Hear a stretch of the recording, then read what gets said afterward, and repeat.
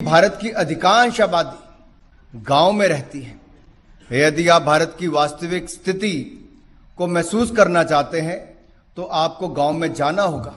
गाँव के साधारण लोगों के साथ रहना होगा और उनकी जीवन शैली को अपनाना होगा और अपनी संस्कृति और विरासत के साथ जुड़ना होगा।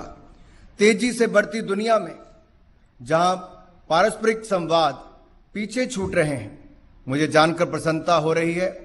कि उच्च शिक्षण संस्थानों के राष्ट्रीय स्वयं राष्ट्रीय सेवा योजना के हमारे स्वयंसेवक गाँव में जाते हैं अपने विशेष शिविरों में सात दिन तक रहते हैं।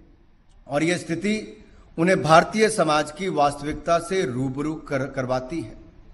उन्हें ग्रामीण जीवन सीखने का अवसर मिलता है। उन्हें ग्रामीणों की समस्याओं को जानने का अवसर मिलता है।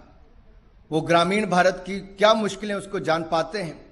मुझे एनएसएस के ऐसे कई शिविरों में जाने का अवसर अपने लोकसभा क्षेत्र हमीरपुर, हिमाचल प्रदेश में भी मिला और आपकी कार्यशैली को करीब से देखने का अवसर मिला है।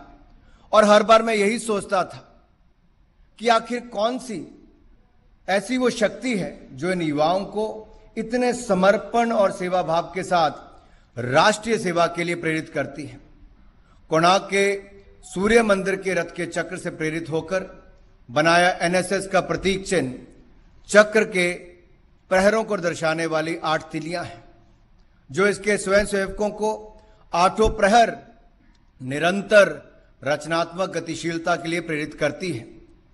राष्ट्रीय सेवा योजना कार्यक्रम, इन होनहार युवाओं को समस्याओं का समाधान खोजने की दिशा में काम करने का पर्याप्त अवसर देता है। राष्ट्रीय सेवा योजना की गतिविधियाँ वास्तव में राष्ट्र निर्माण में सहयोगी हैं।